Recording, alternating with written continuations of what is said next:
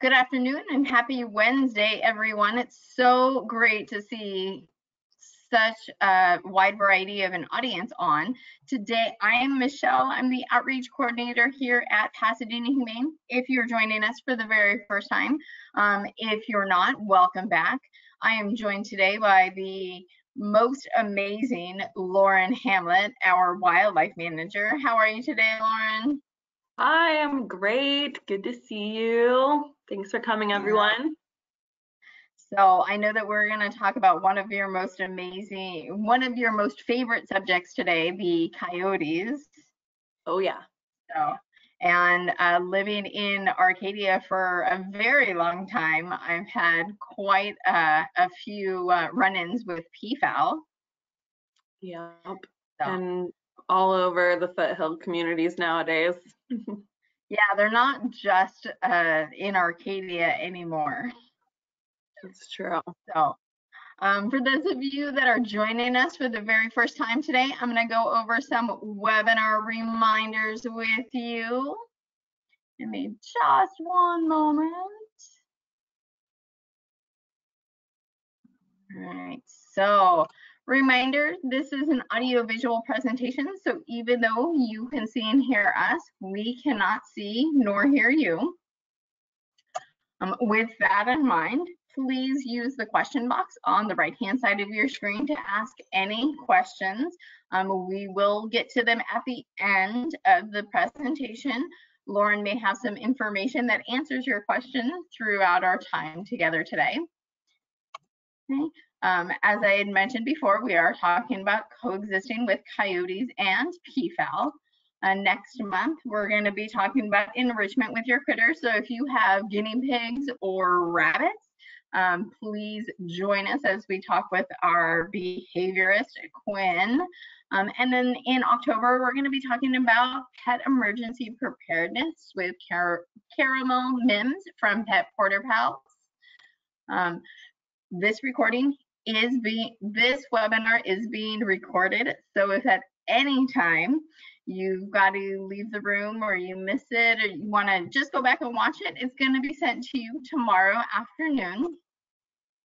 And if you enjoy this webinar as much as we enjoy giving it to you, you can go ahead and click on this link to make an impact with a donation to our shelter animals. And I'll go ahead and put that link in the chat box as well so you have uh, easier access to it. And without further ado, take it away, Lauren.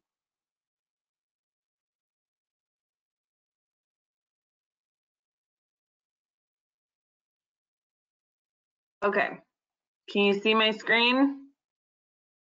Yes, Present we can. Mode. Okay, here we go.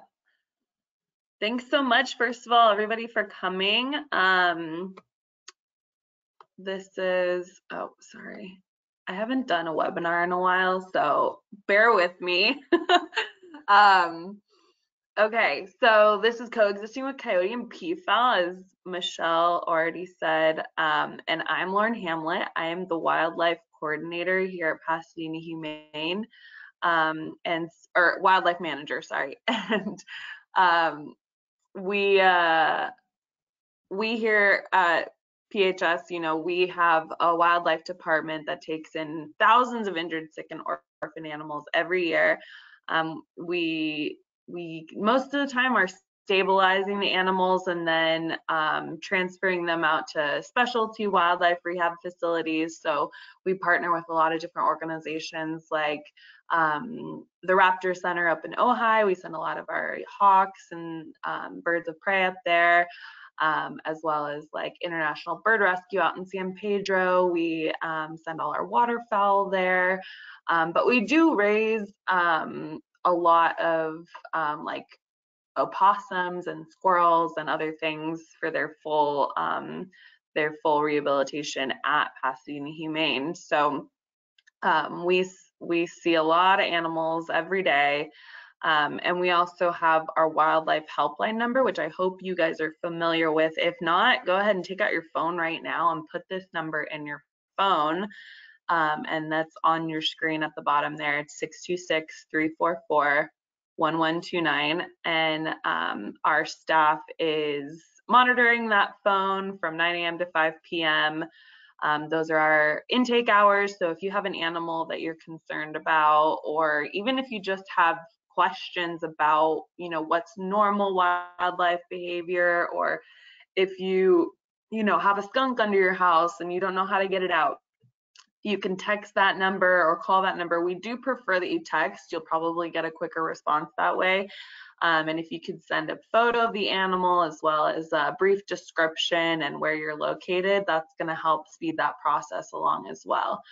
Um, so we um, we've really really vamped vamped up the um, the wildlife helpline and um, and that's been a big part of our department this past um, year and a half ish. Um, so let's just jump into urban wildlife here. So today we're going to talk about mainly peafowl and coyotes, but um, I want you to think about what other wild animals you're seeing in your backyards usually. Um, urban wildlife is any wildlife that has adapted well to our urban environment. So that can even be some bears who have adapted really well. Um, also, obviously, that includes like pigeons and possums and the stuff that you normally think about when you think about urban wildlife, like raccoons and um, you know, like rats and things like that. But also, uh, urban wildlife is also hawks and owls and uh, mockingbirds and lots of different native, beautiful, beneficial um, species in our environments. Um, so our neighborhoods are their habitat. They're born and raised here. Uh, they're not, you know, coming down from the foothills. Um, they they are they are our neighbors. So um, it's important that we uh, look at them that way and um, figure out how we can relate to them in an effective and safe way so that everyone is um, benefiting. So for peafowl, um, this is just a brief history of um, peafowl introduction to um, Southern California. Um, they're not native to California and they're originally imported from India, actually, uh, back in the 40s. Um, so um, I believe, I don't know if this is legend or myth, but I believe it was either the Huntingtons or uh, Lucky Baldwin who started bringing them in and they made their home at the, the Arboretum. Um, and you know the the residential areas were formed and the peafowl totally took advantage of all the delicious food resources that were around and the fact that the humans weren't bothering them so they became very comfortable um, and have adapted super well. Um, they are kind of like chickens in a lot of ways. They're they're part of the the ground fowl, land fowl um, family of birds. So that also inc includes like quail and pheasant, um, but chickens too. Uh, so you could just think of them as like really big, fancy chickens. um, and their diet consists mostly of insects, um, but they do, you know, as you guys probably know, like to eat out of bird feeders. Um, there's lots of plants that they like um, that if you have them in your garden, it might be more attractive to them. Um, and then obviously their their biggest thing that are they're known for is those um, colorful feathers that the males grow and display during the breeding season, which is now. Um, and usually the males are with a, harem of two to five females. Um, so that's usually how you're going to see them sort of arranged out there. Um, but that's not a hard and fast rule either. I, I know I've driven around and seen like five male peafowl and like one female. So um, so that's just kind of like a, a, a guideline for what you might see. Um, but yeah, let's move on even after you know we we see them and we think they're so beautiful and they're so cool but you know once the novelty of peafowl kind of wears off um, i understand that uh, they can definitely be a nuisance. They are quite loud. They're um, quite messy. If you live in one of these areas where peafowl have gotten really comfortable, you know that they can tear up your gardens, ruin your lawns, dry, you know, poop all over the place. And trust me, I know it smells so bad. Um, and you know, they could be on your rooftops and pecking at your cars and pecking at your windows of your cars. But um, hopefully we can we can figure out uh, or talk about you know some of the ways we can prevent this from happening. Um, so first of all, I just want to say that with the the pecking at the windows and the cars and things like that, um, generally it is believed that it's because they're seeing their reflection. So if it's a male and you have a fancy shiny car, maybe your car's not fancy, but it's you just like to keep it clean and shiny. Um, and you just got it waxed and detailed and come back and then all of a sudden the peafowl's there and it just starts pecking at your car. Um, it's probably because it thinks that it sees another male in the reflection and you know they're not the brightest birds in the world. Um, so so they don't realize that it's not actually another bird and and so they're basically just trying to attack um, what the reflection that they're seeing. So one way to to sort of deter that behavior is going to be getting um, either parking your car in a garage um, that would probably be the easiest, or um, getting a cover for your car, or be like me and just don't wash your car. and I've never had a problem with peacocks because my car does not reflect their um, their uh, their reflection. Um, but yeah, so it's just kind of understanding their behavior um, to try and prevent these sort of things from happening. And, and that's also going to be the case with windows on your house. You know, if you um, keep your blinds down if peafowl are around, um, that'll help. Or you can get these cool stickers that are reflective. Um, so it also helps prevent birds from flying into your windows, um, but it also helps prevent um, peafowl from thinking that there is another peacock inside your house that it wants to fight. Um, and uh, and then also uh, we we definitely want to talk about compost. We think compost is great, right? So um, I do definitely want to encourage everybody to participate in some composting programs. But um, if you do have an open compost in your yard, just know that that is going to attract lots of different wildlife and you might have some um, neighbors who are not happy with that. So um, investing in a closed compost system or um, signing up for things like, um, I believe it's called Soil Share um, or LA Compost, um, uh, co-ops. Um, there's lots of different really cool options for composting that aren't necessarily going to be right on um, in your lawn. Uh, so that's definitely a good option. Um, there's an app that you can get that helps you um, connect with other people. It's called, I think it's called Share Waste, and it helps you connect with people so you can drop off compost, pick up soil, um, and that way you don't actually have to have it on your yard. Um, the other things we want to talk about are keeping any sort of food resources for your animals indoors. That's going to prevent all kinds of wildlife from being on your property um, using sprinklers or hoses that are motion sensing are extremely effective. Um, peafowl do not really love the water. They definitely don't like getting squirt with water. So um, if you're out there and you see peacocks, um, feel free to just give them a little squirt with your hose. It's not going to hurt them and it's going to remind them to not be so comfortable around you and your property. Um, and then there's also, like I said, the motion sensing sprinklers that are really effective. So you just want to make sure that you only turn them on um, when there aren't people, you know, running through your yard. So that way you don't squirt people, you're just squirting the animals. Um, and then landscaping your yard with plants that peafowl don't like. And we're going to share a list of those here. So feel free to Lauren, take a screen. I'm going to Yeah. throw, Lauren, I'm going to throw a poll question up first. Great. about Go for it. what does the, what does the audience think um, are some plants that peafowl do not enjoy. Okay. So I, I, I went back so that you can't see it. So take a guess. So the poll is up on your screen. We've got azalea and cactus, birds of paradise, hibiscus and jade, camellia and marigold.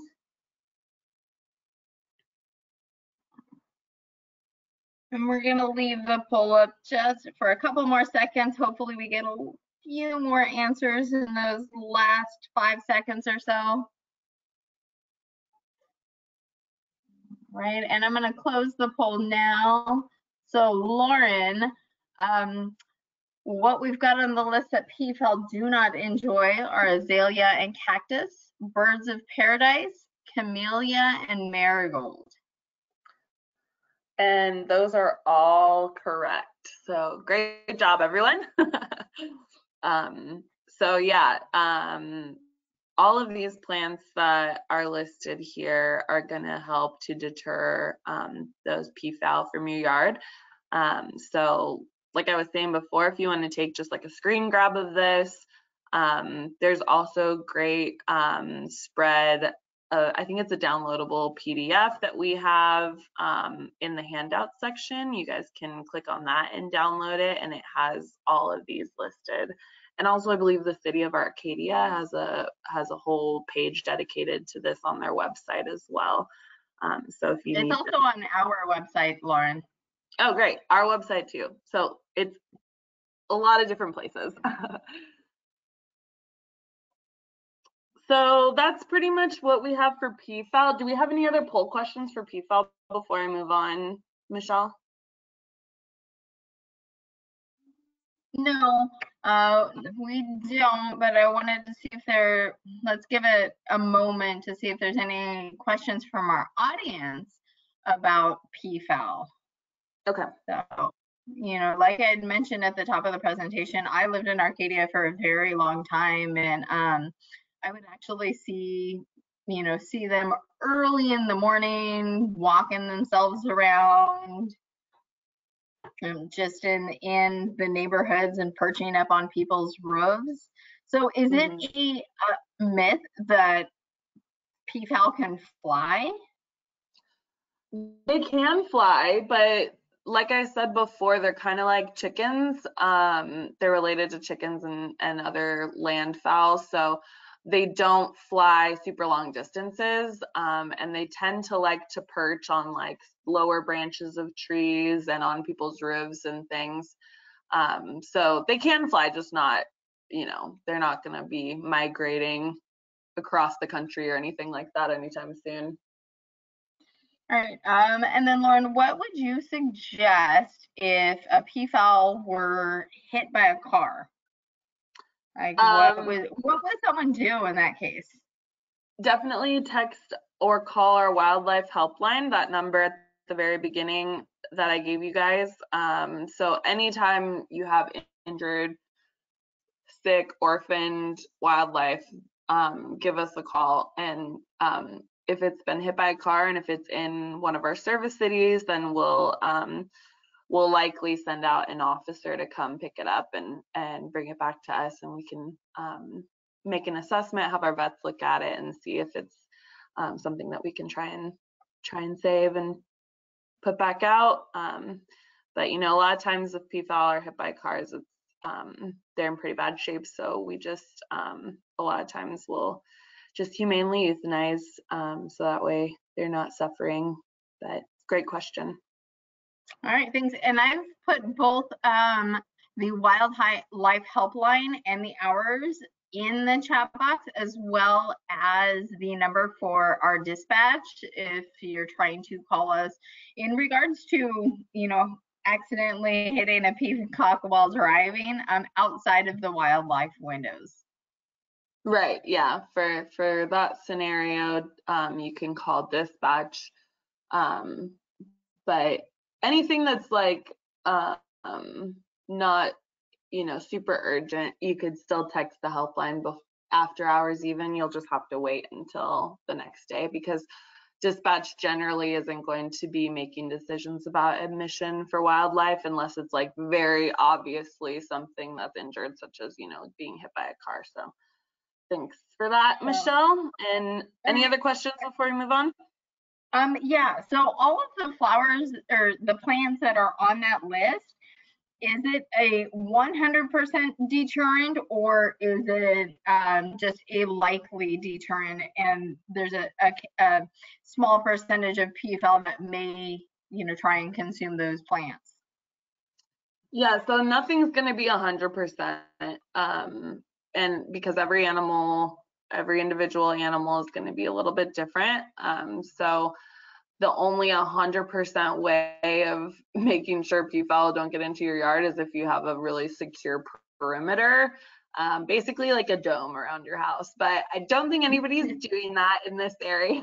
so So we need Um, to live in a bubble, yeah, so is what you're so these are just these are just going to be um, things that are going to help deter, but yeah, it's not it's n- it's never going to be a hundred percent. Um, but it's it's like all wildlife, their instincts are basically making, and we're going to talk a little bit about this when we get to coyotes too. It's always sort of a cost benefit analysis that's going through their head, like. Is it worth it for me to come and try and get food out of this person's yard?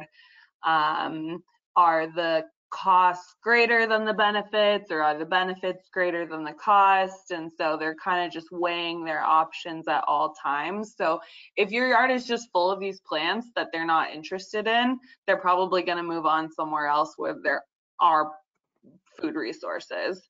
So that's the thing. It's not like they see a marigold and they're like oh no i'm scared. I'm going to run away. That's not kind of how it works. It's more just like these plants don't provide um, don't provide the food resources that um, peafowl generally are attracted to, and they might even have some um, deterrent qualities as far as like you know they don't taste good or smell good or um, things like that.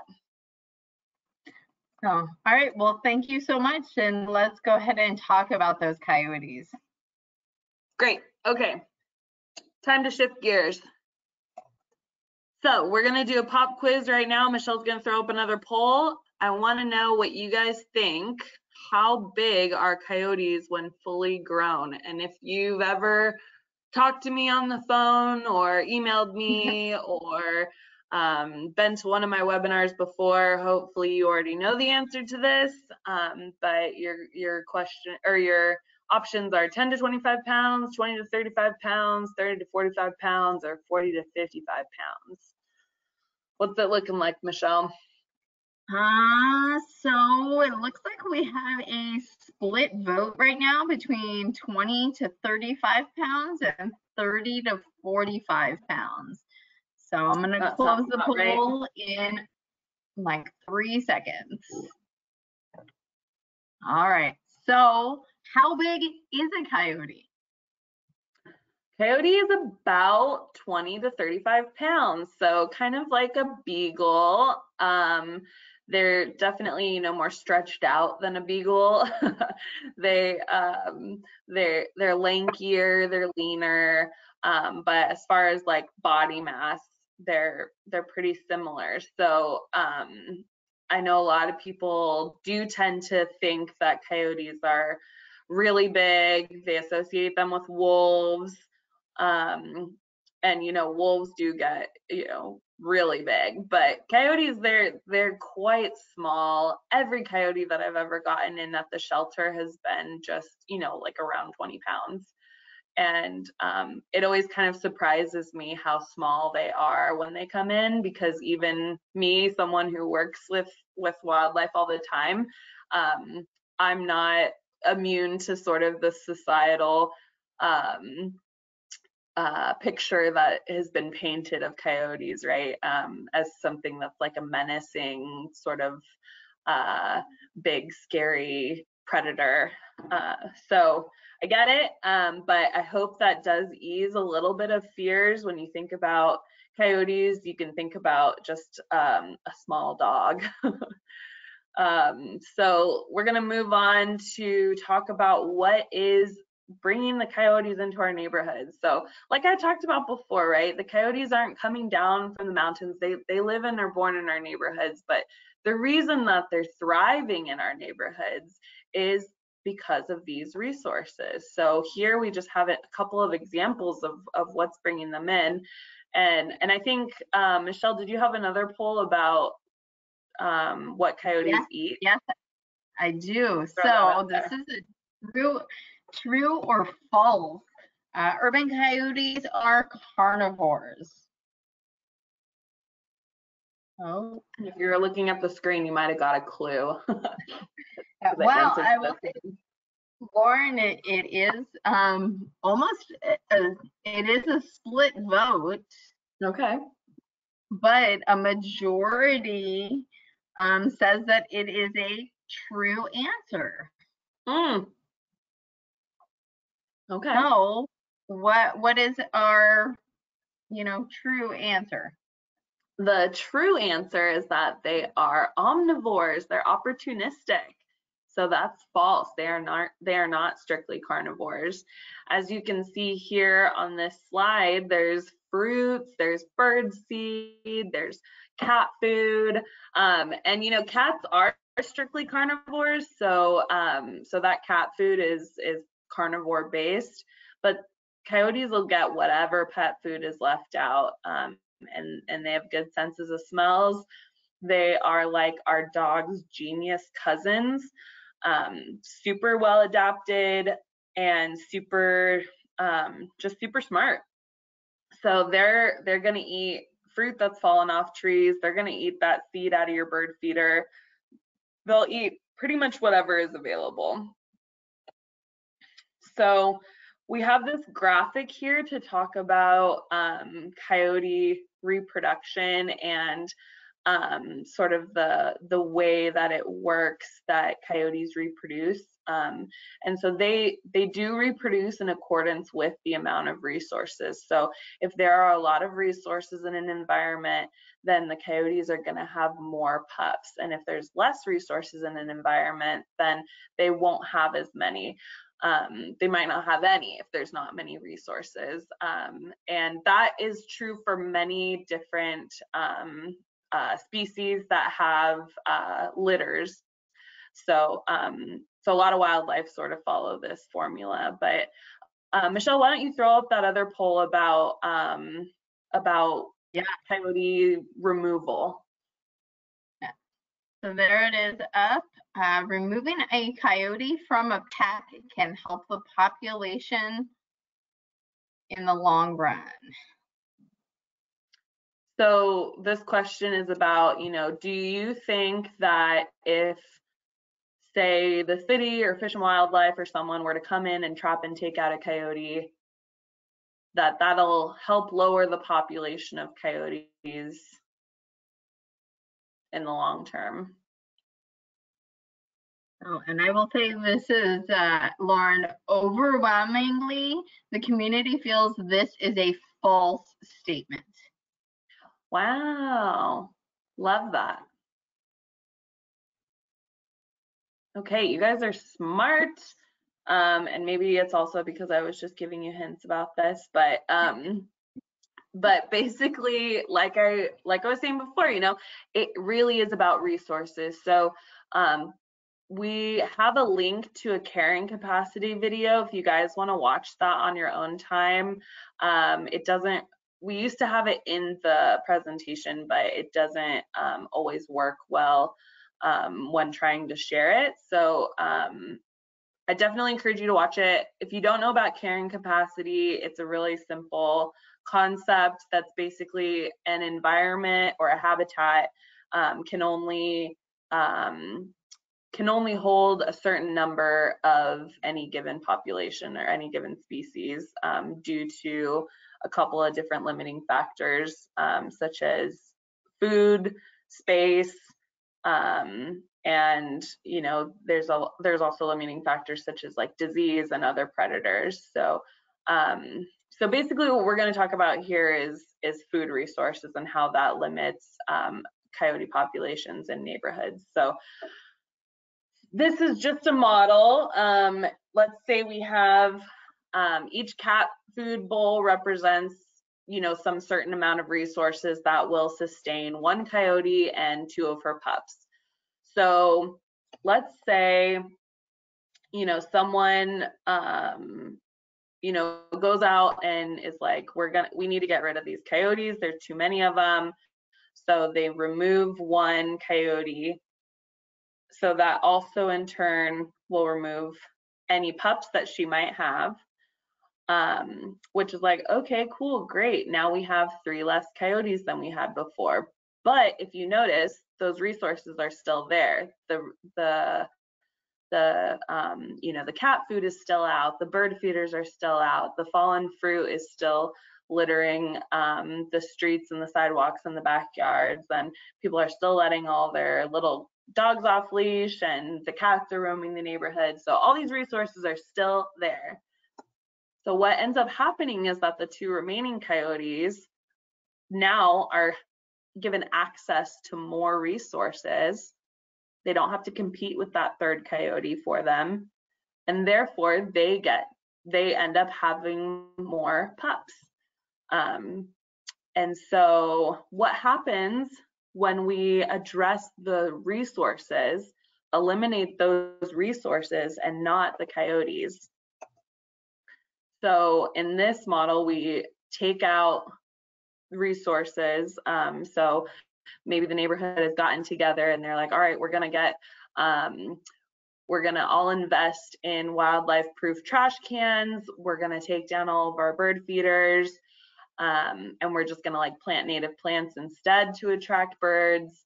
Um, and we're going to make sure that um, all of our all of our dogs are on leash. We're not letting any pets go unattended. We're bringing in all of our cat food. We're not feeding the ferals anymore, um, et cetera, et cetera. And thereby effectively reducing the, the number of resources that can sustain um, this population of coyotes. Um, so what happens is now the amount of resources that are available can only sustain two coyotes rather than three coyotes. And they're not getting passed on to those two coyotes. There's, there's no vacuum effect that's happening here that's going to draw in more animals to consume those resources. Um, and therefore, it effectively limits the number of coyotes in that population.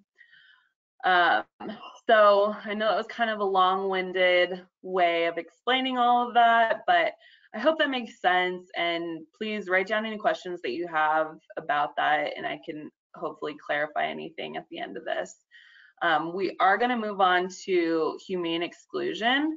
Um, so active and passive hazing are two really effective ways. In addition to removing resources, it's really important that we um, we establish ourselves, our, our human selves as you know, top of the food chain. And um, because humans have eradicated, um, you know, brown bears and wolves from California, there really aren't any other predators that are keeping uh, the coyote species and even the black bear species um, sort of in check. Um, so that's why they, uh, that's one of the reasons why they're starting to feel very comfortable in the human environment because humans are afraid of them. And so, um, so what hazing does is it makes it, passive hazing makes it uncomfortable um, for the animals to be on any given property. Um, and then the passive haze or the active hazing is when you see a coyote in your path, you're out on a walk or you know it's in your yard or something like that you actively going out and um, and you know shaking cans shaking your keys um, making lots of noise and effectively scaring it off. Um, as you can see here this is why i was talking about the bird feeders earlier. Bird feeders feed more than just birds. And so passive hazing is also removing resources that is considered part of passive hazing so um, let's give active hazing a try um, these are all ask a poll. Oh yeah, okay, go. Uh, what is a common hazing item? A whistle, keys, umbrella, a flashlight, or don't haze, just run away. I hope that everyone knows which one not. Yeah, and I do like, you know, Lauren, when we address coyotes with um, our kids at, you know, one of our many different kids camps and activities. Uh, I love illustrating, you know, this to them. Yeah. So, all right. Um, I'm gonna go ahead and close the poll. So in order of popularity, Lauren, it is keys, whistle, umbrella, and flashlight. Okay. Keys, whistle, umbrella, flashlight. All right. Yeah, so those are all great options for hazing. Um, though I just pulled out my keys right now and that's the sound it makes if you shake them. And I also have a whistle that I got from one of my first coyote presentations ever four years ago from Arcadia. I have a whistle on my um, on my keys. So I also have a um, a blinking light on my keys. Um, so there's all different sort of things that are really easy that you can just put on your keys um, that will be um, sort of novel or different, but um, at the same time, a lot of our neighborhoods, and I'm sure a lot of you that are on this um, on this uh, call right now are are thinking, you know, I've tried that. I've tried keys. I've tried um, banging pots and pans. I've tried the cans, shake the shaker can with pennies, and you know, they just look at me and they don't move. Um, and you know, that's that's actually pretty normal for coyotes. That's normal coyote behavior. Um, like I said before, it's they're they're like geniuses, right? And so they're really curious, and so they see you and they see you kind of acting silly and weird by making weird noises and raising your hands and things like that and and they're just kind of watching to see what happens a lot of the time especially if it's something that they've heard or seen before um, so it's really important that we always are elevating our hazing and we're always hazing until the animal leaves the area. So if you just shake your keys once and they don't move, they just look at you, then you give up and go inside. That's just going to reinforce this idea that like the coyotes aren't afraid of us because there's nothing to be afraid of. So what needs So to happen? Lauren, can I ask you a quick question? Yeah. Um, should you haze if you have pets or kids with you? Oh yeah, absolutely, a hundred percent. Um, you should use your, you should bring them in close to you. Obviously, if you can pick up your kid and your pet, that's even better because it makes you kind of look like a monster. Um, and um, and definitely always, you know, I always tell people like teach your kids how to haze coyotes at a very young age. Um, so it's coyotes aren't looking at humans, even small humans, as food resources. They're just looking at us as um, something that, that's associated with food resources. So, like I was talking about that cost benefit analysis earlier, coyotes definitely are doing that every time they see us. They're like, mm, is that is that person scary enough for me to like forego whatever food I think they might have or they might, you know, leave behind. Um, because if they're not scary enough, then I'm just gonna wait here and watch and not go away because they're not that scary. Um, and so so you really need to make it like not worth their while um, by being scary. And so these are just some other ideas. Um, I love the hose. Um, like like with the peafowl, you can use the hose with with coyotes as well, squirting them.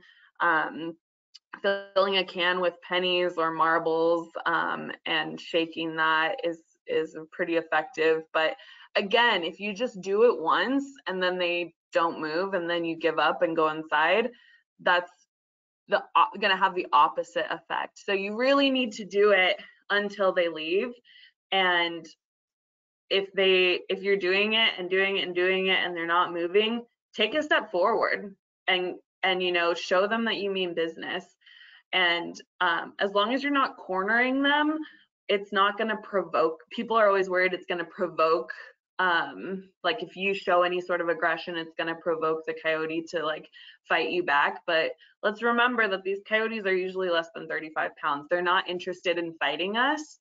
They're just interested in waiting it out until we get bored and leave or we give up and then they can you know come through and and see if we dropped any food or if we left our cat outside and um, things like that uh, the umbrella is also a really good one. You can carry that with you on a walk and um, open and close it, and it kind of makes you look like a monster.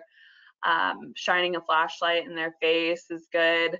Um, always like hold eye contact with the coyote and just be really aggressive, um, you know, and and yell at it and um, and just do kind of whatever whatever you know whatever empowers you to to feel like you know i i'm the top of the food chain i'm the predator species here.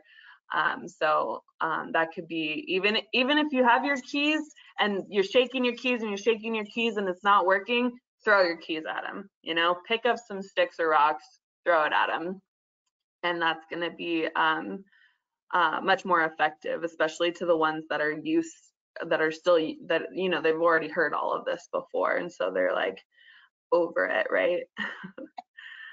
Um so let's talk about our pet safety for a, for a second here too you know? How do we keep our pets safe?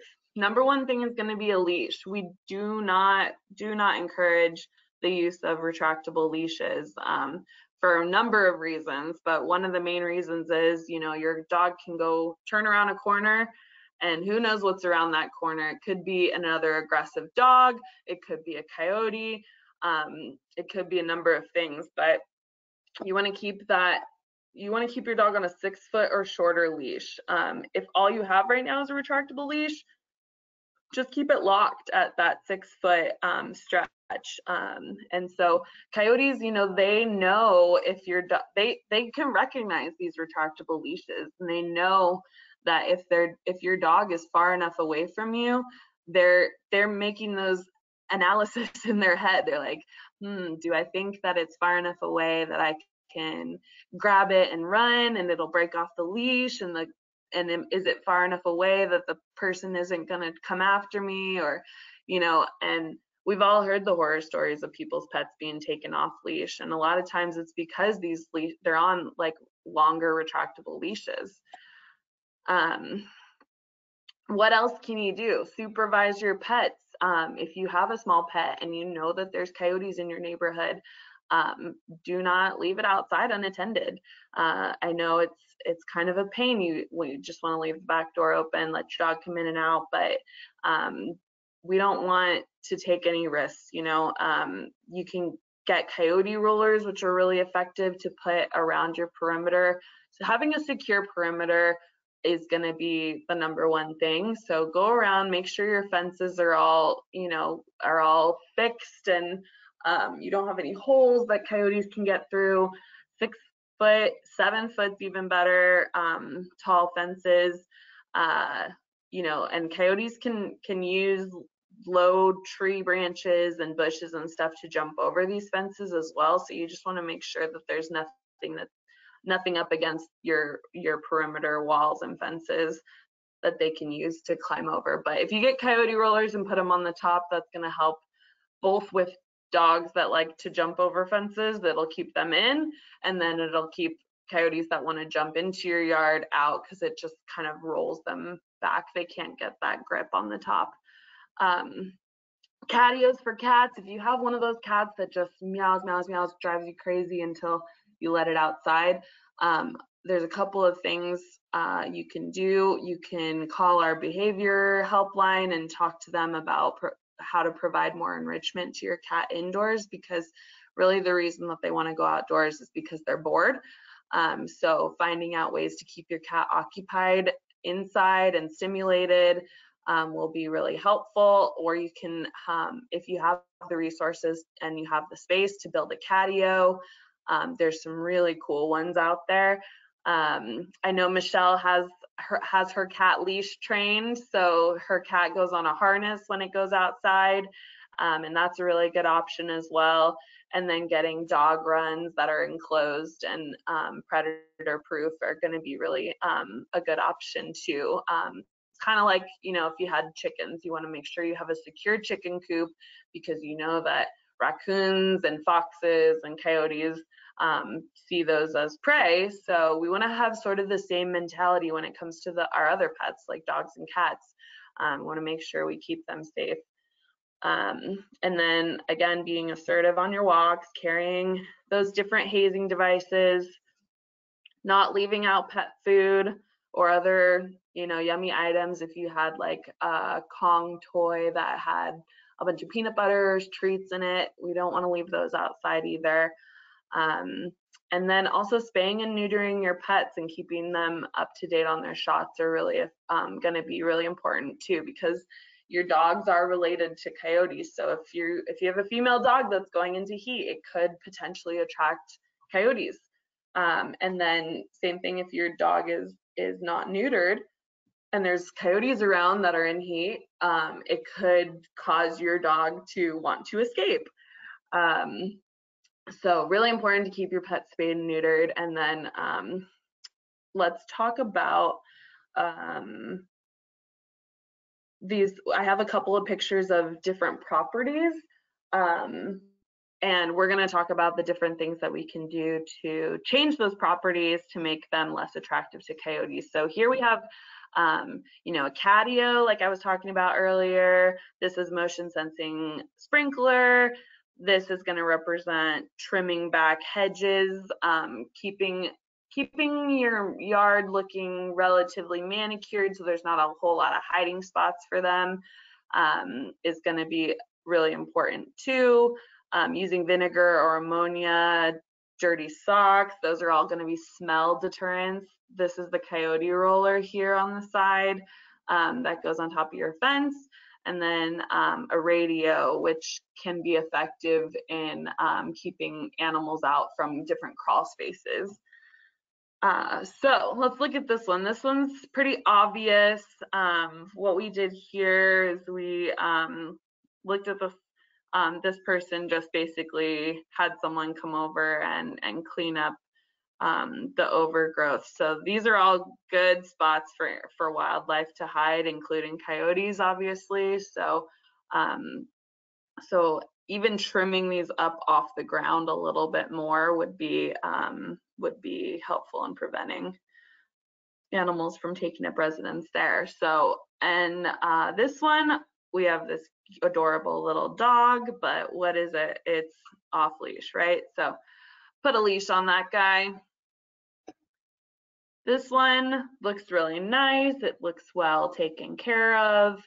Um, but we do have this water source here. So especially in our um, Southern California and well, all the West Coast really right now, um, water is a really valuable resource. And a lot of people are like, well, you should leave water out for wildlife, you know, that are escaping from the fires and things like that.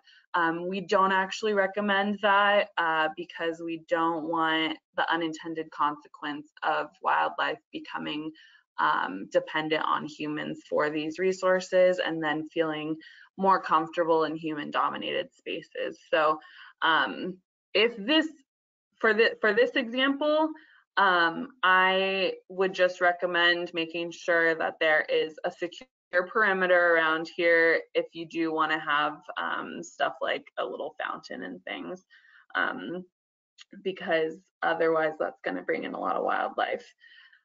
Uh, here we have a bear that has found the bird feeder. So uh, just another example of, of um, why we don't love bird feeders. Um, not to mention that usually the seeds that people put in bird feeders are just basically junk food and there are a lot of seeds of non-native plants. Um, so what happens when a bird eats all these seeds? They eventually poop it out, right? And they might poop it out out in some protected wildlife reserve national park area and then all of a sudden there's some invasive species that's growing there that's an extreme example but just you know one of those things that we think that we don't tend to think about when we think about the um, providing bird seed and things. Um, so the best thing to do really if you want to have um, lots of beautiful native birds coming to your yard is to plant lots of beautiful native plants that are um, pollinator plants. Um, and if you have more questions about that, please email me and I can give you a great some great resources. Um, and then here we have uh, a crawl space, right? Um, that some animal has broken into. So what do we do if an animal is um, denning underneath our house? Um, so we can use the radio. I would say, you know, if we have like a an iHome or one of those like smart speakers, you can put it in a plastic baggie so that it doesn't get all dirty and gross and just stick it under there and and play, you know, talk radio or loud music or um, something that that would be uh, kind of annoying to whatever animals living under there, make it sound like there's people around all the time. They're looking for a dark, quiet, comfortable space. So if we can make it nice and bright by using these, there's motion sensing lights, but you also could just grab a shop light and just put that under there and make it really bright. Um, and that's going to be pretty effective um, using those smell deterrents like vinegar or old dirty socks, throwing those under there. Um, the vinegar or the ammonia, you can um, put like a rag halfway in, halfway out of um, like an old coffee can or something, and it's kind of like a candle wick. So it starts, um, the smell will sort of slowly fill the space that way. Um, but yeah, and then also I'd say about this, you can put um, you could put like baby powder or flour sort of in like a semicircle around the entrance here, and that way you can see the footprints and know that the animal has left. Um, and then either hire someone to fix that up nice and secure, or if you're if you're savvy to do that yourself, just make sure you get a really strong, secure um, cover for that. This next one, beautiful yard, love it, but these are all the things I would change. Put a coyote roller on that back fence, um, remove the bird feeder. Um, if that's your pet bunny, I would not leave it out. If it's a wild bunny, obviously there's nothing really you can do about that. Um, and um, then there's another, I think, a bird feeder over here, some water resources here. And then um, with all these hedges and things, just trimming them six inches to a foot off the ground will reduce a, a lot of the um, potential hiding spaces that coyotes like to, to be in. This one, obviously, we want to take our cat and not let it be outside on its own. Um, so getting things like a catio um, that they can really enjoy the outside, play with bugs and things, but it also pr protects a lot of the native species like lizards and um, and fledging songbirds um, from uh, or fledging native birds from from our you know killer cats. Um, so it's really good both ways. Um, and it's really important that we we try not to let our cats just roam freely outdoors. Um, hey, then, Lauren, we've got about five more minutes and we've got a, quite a few questions coming in about coyotes. So do you think we could um, address those questions? Yeah, yeah, I think those are last one anyway. Um, okay. So let me just go through these last few couple uh, slides real quick. Um, so just some reminders, remember to haze every time you see a coyote that's in your neighborhood. If you're out on a hike or something and it's, you know, in an in a non-human dominated area, there's no need to haze them, especially if it's like up on a hill or something far away from you. Um, remember that hazing does take time and patience. Um, just like dogs, it needs to be consistent. Um, and humane exclusion is a community effort. So you need to make sure you're talking to your neighbors about this stuff too. Even if you're doing everything right, if your neighbor is still feeding the feral cats and still you know, having all these great hiding spots and things for the coyotes, then it's not going to make a difference what you do. Um, and then the last little tidbits here, um, if humans are in immediate physical danger, if there's an immediate emergency, always call 911. Um, there's our wildlife helpline number again, that 626-344-1129. Put that in your phone. Wildlife at PasadenaHumane.org is the um, best email address if you have questions about wildlife, including coyotes. I will respond to you within usually a couple of days. Um, and then if you live in any of these cities, the um, San Gabriel Valley Council of Governments has really, really good resources. They have a coyote uh, program um, that I've worked with closely on a lot of different things.